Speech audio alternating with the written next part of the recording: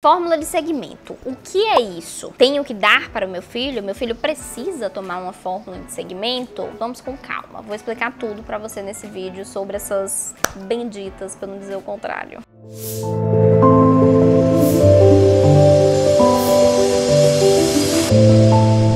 Doutora Daniele Leite, pediatra, e hoje eu vou falar para vocês sobre o que é né, a famosa fórmula de segmento, se tem indicação de usar, quando que a gente usa, como usa, o, o que está por trás de tudo isso que a gente está vendo nas mídias, na internet, nas redes, em várias inúmeras propagandas por aí. Então, primeiro, vocês precisam entender a diferença da fórmula ali do primeiro ano de vida, da primeira infância, para essa fórmula de segmento que é de 1 a 3 anos. Então, a fórmula que existe com o número 1 e o número 2 são as fórmulas para a gente dar de 0 a 6 meses e de 6 meses a 12 meses.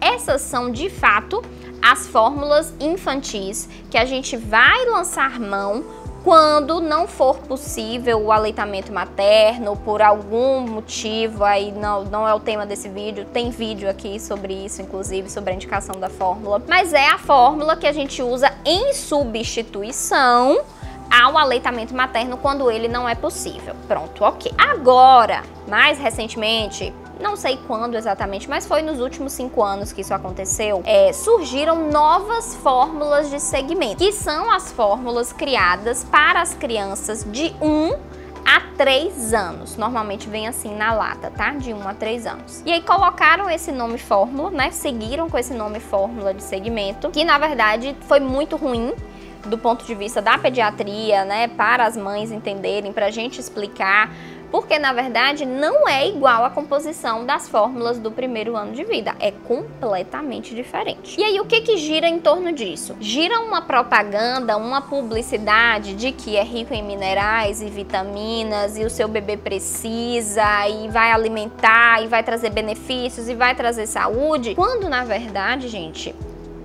é um ultraprocessado. É uma lata com um pó ultraprocessado, industrializado, que contém açúcar, que contém conservantes e que comida de verdade é muito mais saudável do que o conteúdo que está dentro daquela lata. Só que é difícil a gente ir contra o marketing. Quem sou eu perto dos milhões e milhões de reais investidos né, no marketing dessas fórmulas? Eu sou nada. Mas não sou eu que estou falando. Não é fonte vozes da minha cabeça que está falando para você não dê fórmula de segmento para o seu bebê maior de um ano. Não. Sabe quem é que está dizendo? Ela, a toda poderosa, a Organização Mundial de Saúde. Esse boom da publicidade dessas fórmulas de segmento para maiores de um ano se intensificou nos últimos dois anos. Se intensificou tanto, né? Saiu tanto do controle que a Organização Mundial de Saúde, ano passado, no final do ano passado, lançou um manual novo só para falar sobre a alimentação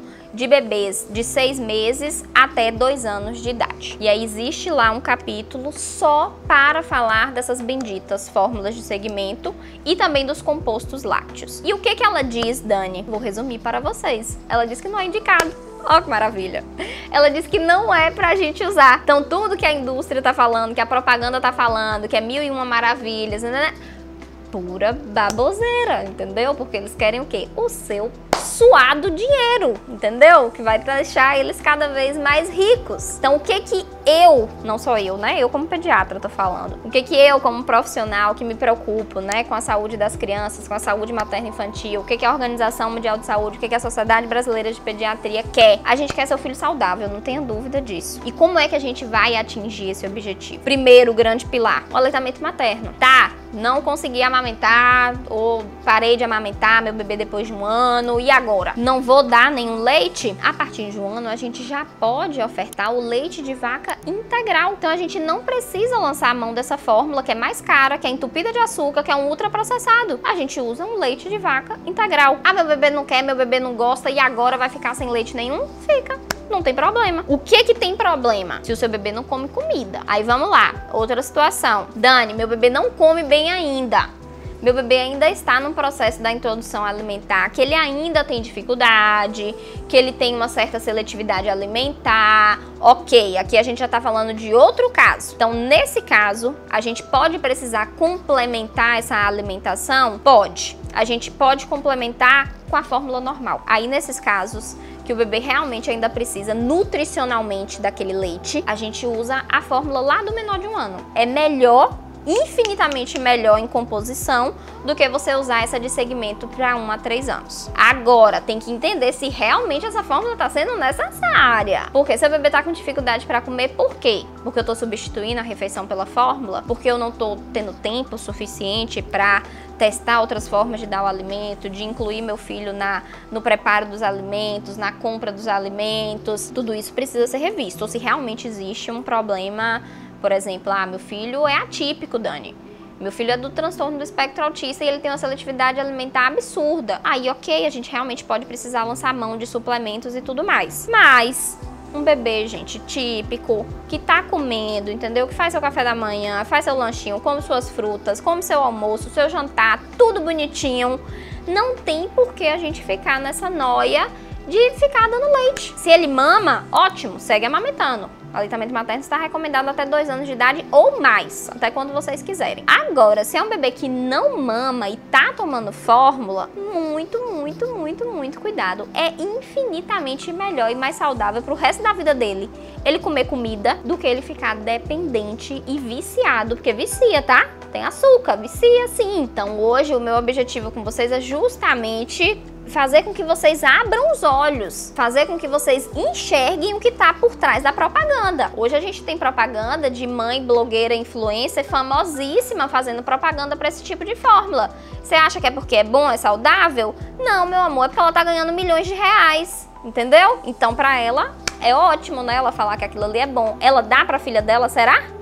Será que ela realmente dá aquilo para a filha dela? Fica o questionamento, né? Tem várias fazendo isso, tá?